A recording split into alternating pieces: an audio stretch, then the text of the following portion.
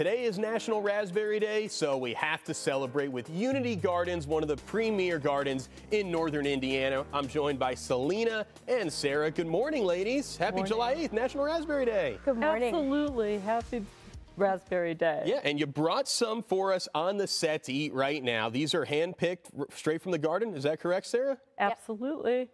Now you have to try the white one too. A white raspberry. What, what is a white raspberry about? Well, try it? in a second you'll know.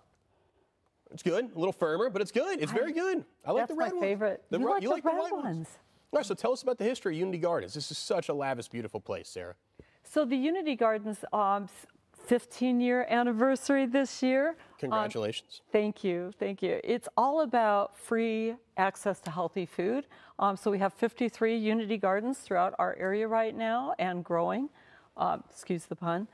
Uh, basically, like edible parks, destigmatized free food, a place where people can gather and commune with nature, in addition to getting healthy, fresh food anytime they want.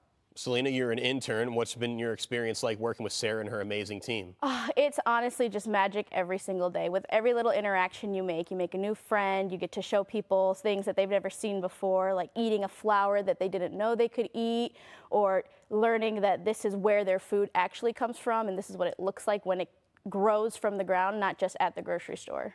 What all products does Unity Gardens offer, Sara? We have not only the fresh fruits and vegetables, I mean, tomatoes, cucumbers, peppers, okra, uh, herbs, uh, lettuces, greens, uh, turnips, radish, you name it, we've got it. Um, but then in addition, there's so many other things to do, whether it's feed a goat, hold a chicken, um, you know, just sit in the green space. We have the Geodome now to connect with kids and so many different educational classes. We have a new art series, Yoga in the Garden, um, and definitely events coming up. And the big barbecue's coming up. Selina, how excited are you for that? Tell us Absolutely. about it. Thrilled for the barbecue. There's going to be so many fun craft vendors, informational vendors. We have so much good food coming up. Hacienda, Rico Suave. It's just, I'm thrilled. So it is National Raspberry Day. Every July 8th is National Raspberry Day. What is the process to grow raspberries, whether they're white or red, Sara? Absolutely, it depends on your preference. Um, raspberries are perennial fruits, so they uh, do grow naturally here and come back every year. Um, there's a lot of mystery in terms of the canes and removal, et cetera. What I do is just wait until um, a cane comes off naturally. I don't usually trim. Um, you can trim to make them bushier. Um, you can also do something where you um, put the end in the ground and make a whole new raspberry.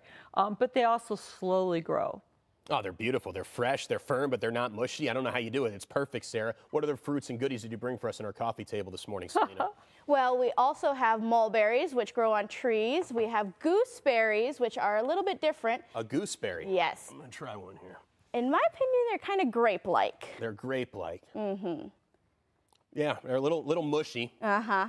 Depends. You should try one of the ones that are a little lighter colored and then they'll be a little more tart. The lighter color, yeah, I like it a little bit more sour here. Yeah. And these are very old fashioned kind of fruits. Um, people don't keep them in mind as much. What are they called? Gooseberries? Gooseberries. Gooseberries. I learned something new today here on Hometown. What else did you bring for us? And then we have blackberries. Blackberries, those are classic. So is this like the optimal fruit season, you would say, Sara? I always think this time of year is where blueberries meet some straggling strawberries, meets raspberries, meets gooseberries, meets currants. Um, and we have all of that at the garden. What about plants? I know you had a big plant sale, re- plant sale recently.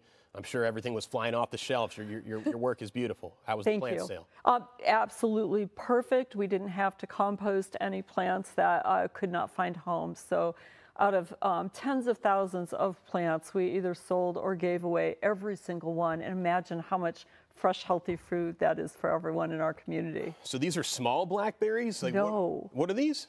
Mulberries. Mulberries. So what is the difference between a mulberry and a blackberry? So mulberries grow on trees, Mm-hmm. and then the blackberries grow kind of like raspberries on those canes from the ground, like a bush. Wonderful. Mulberries are good. They're good. Blackberries, ugh. You don't like blackberries. I love all your fruit. Everything you touch turns I to gold. I should like them because they're really good for you. But mulberries are um, almost like trash trees. Um, you know, they grow around here so much, and they're the forgotten fruit.